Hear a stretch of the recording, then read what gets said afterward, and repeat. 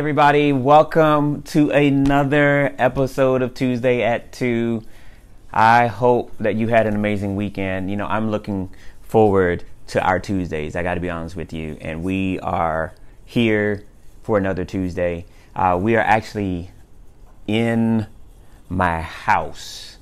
Um, I have uh, the opportunity to turn one of my rooms into a man cave, and uh, it is the place where me and my boys go, and it is all things sports up here, which means that right now, while there is only replays, uh, we are having to find other options like outside play. Um, like we're actually playing the sports. like we're not just watching the sports. Um, we're being physically active while while there are no sports, and so um, it's just it's just yes. So welcome to Tuesday at two. Uh, last week um, we started a conversation um, just focusing on spiritual urgency. We talked about Thomas, um, which was from a, a, conversation we had on Sunday mornings. Uh, our church is called City Place Church, and um, my wife and I, her name is Taisha, and we pastor City Place and uh, during our Easter service, we talked about Thomas, and we just said being close enough to God uh, is what uh, Thomas wanted. He wanted to touch God. And last week, um, when we had our Tuesday at two, we talked about just being, you know, close to God is not enough. We phrased it like this: we said near enough is not far enough, and that we needed a spiritual urgency. And I just wanted to stay on that thought um, right now, just because of the season we're in. Um, life has is trying to really redirect the rhythms of our life. But if there's one thing that I know for sure is that in this time, spiritual urgency has to be high. Like there has to be a longing and a hunger for God at a new capacity that you may have never experienced before. You may not have even be, been planted in a church. You may not even have been uh, a church goer or a Christ follower. Um, this is about you and your personal relationship with God. Your relationship with God is not the church you go to. Your relationship with God is the place and the person of God himself. It's it's it's the salvation that we experience through the death and burial and resurrection of Jesus Christ. Like so this is a relationship thing. This is not a religion thing. And in this moment of time when all is going uh, uh, crazy for for for some of you, and and COVID nineteen is impacting your life, the spiritual urgency button needs to be pressed because we all need to have an encounter with the reality of who Jesus is. And I found the story in in the Bible. You know, three weeks back we talked about just how God has given us his word and his word is life and it's alive and uh, it's a great tool for us to be able to hear him speak and to be able to declare his promises. And so i found the scripture uh, it's actually a story in the bible that i wanted to just kind of lean on when we talk about spiritual urgency. When you read it it's, it's like how you get that damon? But when you dive into it it's like ah Got it. So let me give you where it's found. It's found in 2 Kings chapter 13, 14 through 20. Now, I'm not going to read it all to you just for sake of time because our Tuesdays at Twos are just quick moments where we dive into something spiritual or we dive into something practical so that our life can be full. And so there's a story of a, of a king. And the king, his name is Joash and he has a really close relationship with a prophet by the name of Elisha. And in biblical days, in the Old Testament, the first half of the Bible, um, the, the, the it, it, was the custom of the day that there was a prophet or prophets that would speak what God says and declare what God says over the nation.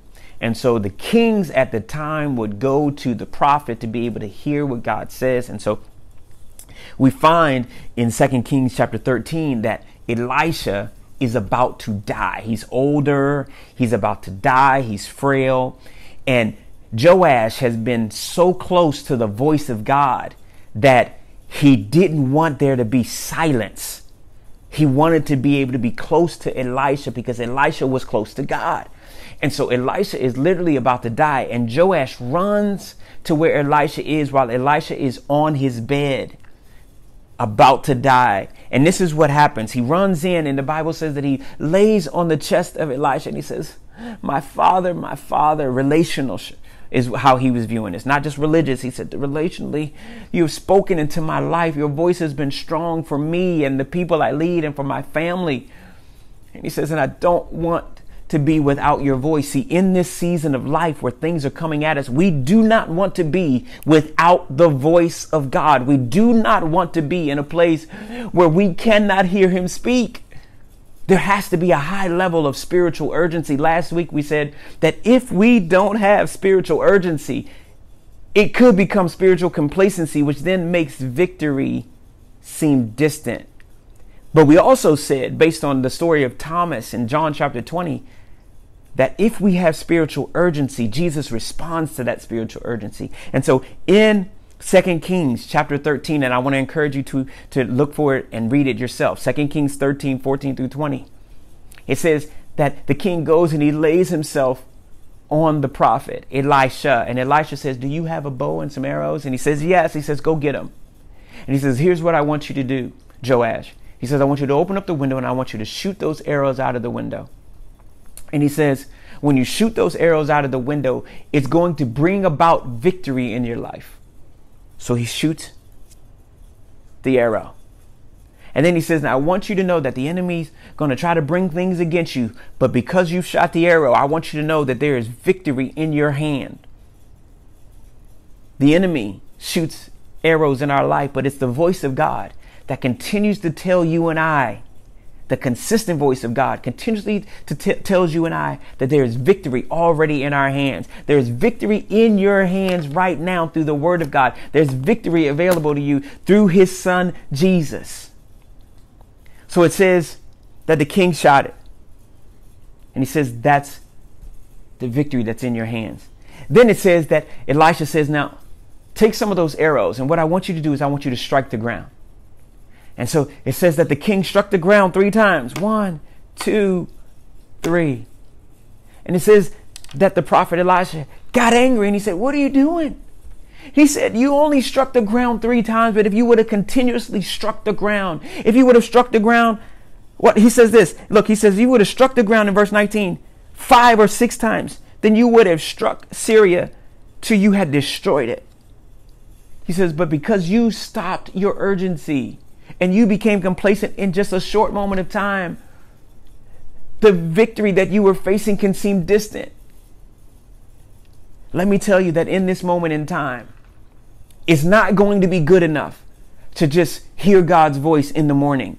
It's not going to be just good enough to be okay with just praying on a Thursday or hanging out on a Tuesday or watching someone online yourself and not diving into God's word. In this season of life, now is the time to have our highest level of spiritual urgency. Now is the, the, the time where we go after God in the morning, in the noonday, at nighttime, when we walk, when we ride, when we're cooking, when we're hanging out with our family. Now is the time for us to include God in everything we do. Why? Because there's victory in our hand. I wrote this and I just want you to think about this thought. It's our urgency that gets us to God. It's our urgency that keeps us in His presence. It's our urgency that gets us to God. It's our urgency that keeps us in His presence. Do not lose.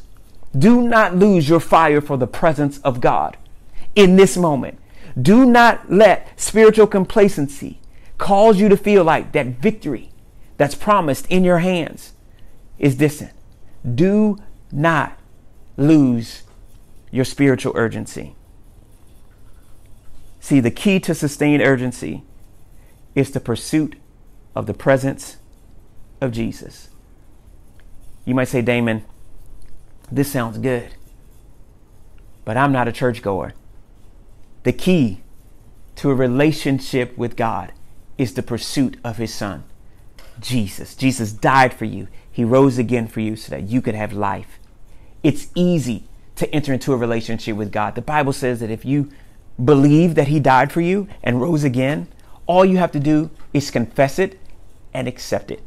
It's simple. You just go, Jesus, I believe that you died for me and you rose for me, and I accept you as my own Lord and Savior today.